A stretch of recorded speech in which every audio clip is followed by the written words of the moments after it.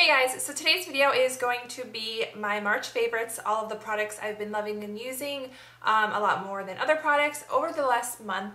And yeah, I'm just gonna get right into it because these videos I tend to talk a lot and yeah, I'm just gonna get into it. So the first thing is the eye makeup that I've been wearing over, it's been over a month I've been wearing this combination. It's the makeup that I have on today and it's just the original Urban Decay Naked palette. I haven't used this until recently. It was probably been over a year, like I just never reached for it, but I'm glad that I'm using it again because it's kind of expensive and I just was like never using it.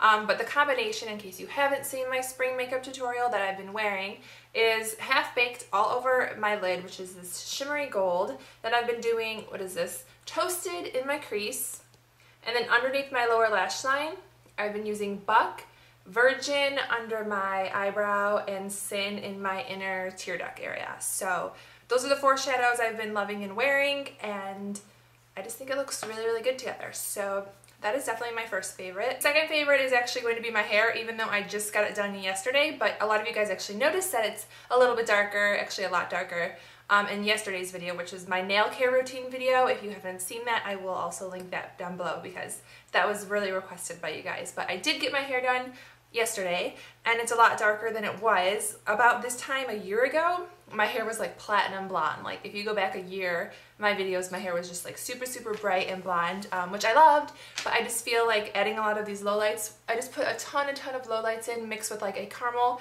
and then I just kind of kept like the light bleach color towards like the front of my hair. Um, but just a ton of lowlights is really what she did like that was different. Anyway, I like the bleach blonde look. It's really fun and bright and stuff, but I just feel like a little bit darker of color actually complements my eyes and my skin tone a little bit more. Like it looks more natural on me than the bleach blonde does. Um, so yeah, I really like this. This is definitely a favorite of mine. Let me know what you think in the comments if you prefer all dark, because when I first started doing videos, my hair was all dark. Um, if you like the bleach blonde or if you like this kind of like combination, I would love to know your opinions. Okay, lip combination that I have been loving, and you guys have, every time I wear this, you ask me what's on my lips, which I have it on today. I wore it in yesterday's video, well, a similar version, a similar combination. But today I am wearing the MAC Impassioned lipstick, which is like a, I call it like a um, passion fruit kind of pink, because it's kind of, I wouldn't even say there's orange in there. It's just kind of like a hot pink, like juicy fruit punch kind of color. It's so pretty. And I don't put this on like a regular lipstick. I just kind of dab it onto my lips because it's really pigmented. It's an amplified formula, so it's really bright. Um, so I just kind of dab it onto my lips. And then my favorite lip gloss, which I have actually featured this exact shade, I think, in a favorites video before, but it's the Buxom Lip Gloss in the shade Creamsicle. And it's a really pretty, like, I guess just corally pinky kind of color and it's tingly. I love the way it feels on my lips and these two colors together that's what I have on my lips today. Yesterday I had on the lip gloss with a different lipstick. I don't remember which one. I think, no, I think I just had on the lip gloss and that was it.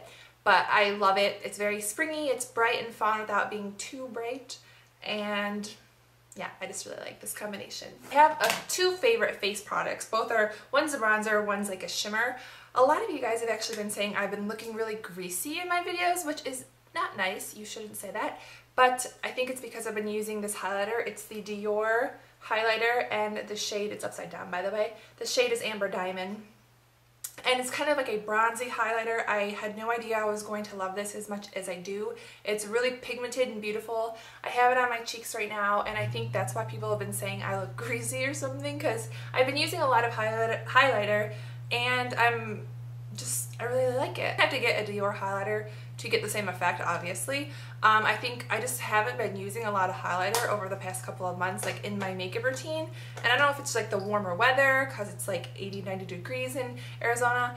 I just, I really like the, I've just been using, loving using highlighter on my cheekbones and down the center of my nose and on the little cupid's bow of my um, my lips. So loving that highlighter. One of my subscribers actually told me it's being discontinued, which I hope isn't true because it's like a new favorite product, product of mine, but I really, really love it. So I have been using that and loving that. Another face product that I've really been loving, which I need a new one very, very soon, it's the Tarte Park Avenue Princess Bronzer. This is the matte version. It's also waterproof, which is great for spring and summer months. And what I've been doing with this is using this Tarte foundation brush, which for some reason I don't like this brush for actually applying foundation. I love the brush in general. It's so soft and it buffs product into your skin flawlessly, but I don't like it for the foundation. I feel like I can see the foundation on my skin when I use this, um, so I actually prefer it with a powder. So I just use the foundation with my hands most of the time, and then I've been loving setting my foundation with this powder, with this brush, and I just buff it all over my face because I've, I've been using a lot of sunless tanner lately so my face is never as dark as my body so I just buff in the bronzer onto my face and it's amazing. It sets my foundation. It's the perfect shade. I love it so much and I would definitely recommend that if you are going to be sunless tanning and you want your face to be as tan as your body because I don't always put sunless tanner on my face or if I do it usually comes off a lot quicker than my body so I like a matte bronzer like that to kind of like set my foundation make me less oily yeah. Okay, so I have a favorite like nail polish combination thing that I've been doing on my toes the entire month. It's so cute. So I posted a photo on Instagram. You may have seen it. I will insert it somewhere in the video right now. But what you do or what I've been doing um, is taking two similar colors. So like two similar pink colors or two similar blues, whatever color combination you want to do. Then you add a white nail polish and a glitter polish and you kind of just put them on your toes like sporadically and it just looks so fresh and so summery. There's something about a white polish that I love. I love wearing white nails in the summertime. It's just so bright and clean and fun and adding a glitter accent nail on your toes is just the cutest thing ever. And I've really been loving doing that. And I've even been doing it on my nails. Like if you saw in that photo I did a similar version on my nails. And it's just been a really fun combination. And I don't know. Try it out. Try a glitter accent toe. I think it's so fun and so cute and I have gotten a lot of compliments. When I got my hair done yesterday, I had on I have on a manicure similar to that, and all the girls were saying how cute my toes looked, so it's really cute. So definitely try that out. It's definitely been a favorite of mine. Okay, my next favorite is a new black eyeliner that I've been loving. It's drugstore, which is awesome because I'm totally addicted to the Stila Stingray eyeliner, which is $20 and it goes really quickly. So it's like, it's it sucks that it's so expensive, but it is the best eyeliner ever. But I found something almost literally identical in staying power and everything and I featured this in a makeup tutorial um, kind of recently but it is the Carbon Black Extra Intense Liquid Pencil Eyeliner by L'Oreal. I don't understand why it says liquid pencil. That's kind of weird but one side is just like a smudger and the other side is a pencil and I will just kind of show you how dark it is. I barely even pressed. Look how dark that is. It is super super black and for me, black eyeliner is like a staple. I have to wear it every single day, even if I'm wearing like just mascara and foundation, like like very light makeup day, like if I don't want to wear a lot of makeup, I seem to always put on black eyeliner. And this is so much less expensive than the Stila one and it works great. It stays on my waterline just as well as the Stila one, so I'm not going to say that I'm not going to purchase the Stila one anymore because it's definitely my favorite and I like that it's mechanical rather than a pencil that you have to sharpen but this is definitely almost exactly the same. So if you've been looking for a really good intensely black eyeliner, definitely check this one out and I'll write the name down below because it's kind of a long name for an eyeliner. Which has been the scent that I have been loving and I need your guys help on this one because I don't I know it's limited edition, but I don't know if it's a scent that Bath & Body Works brings back because I'm really not like up to date on how Bath & Body Works works, how Bath & Body Works works. But I know a lot of you guys are really familiar with all the scents and when they bring them back and that kind of thing, and I'm totally not up to date on that. I use I usually only purchase their soaps, which I don't purchase anymore, and their candles. I'm not a huge, I don't ever gravitate towards their body care section, but this scent, I bought it last year and I've just like kind of rediscovered it and cannot get enough of it. It's the Sweet on Paris fragrance. I know it was limited edition. I don't know if they're bringing it back, so I need your help. Let me know if they are bringing it back. If they do, you seriously need to get this if you like sweet scents. It smells like sugar, cotton candy, fruit, all mixed into one. It's so good. I've been spraying this everywhere. Doesn't look like I have, but I really have.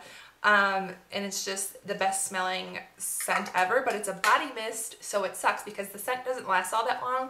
So I have actually been keeping this in my purse and just spraying it. I actually like that I can spray a ton of it at once and not be like overpowered with the fragrance because it's just kind of fun to spray a lot.